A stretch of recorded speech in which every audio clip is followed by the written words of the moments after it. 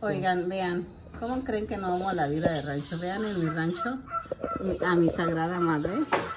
Vean que, que, que este pescado grandote nos vamos a almorzar, ¿verdad, mamá? Sí. Sí. Eh, lo vamos a hacer en salsita roja como en mole, digamos, como en el molecito, ¿verdad, mamá? Así fue como se, se nos antojó hoy.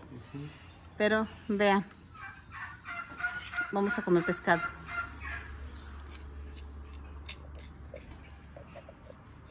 Mi mamá lo tenía en el congelador y sacó y lo puso a descongelar, ¿verdad, mamá? Sí, lo puse a descongelar. Sí.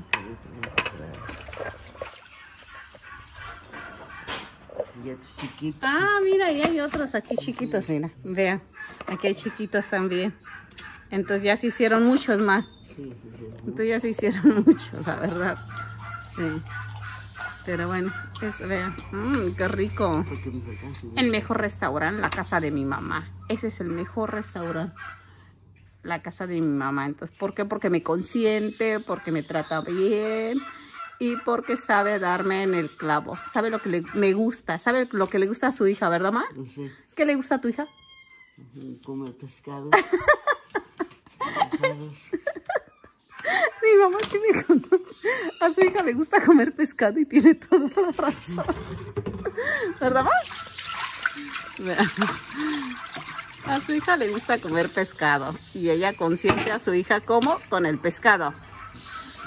Salió una mojarrita, ¿es criolla?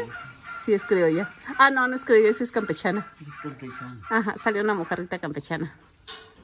Pero bueno, ella sí sabe cómo consentir a la familia. También cuando viene mi hermano también lo consiente, a mi cuñada. Viene con Toña se come pescado.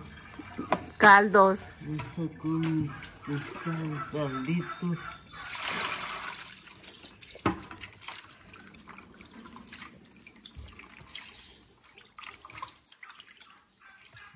Sí, pues, agua.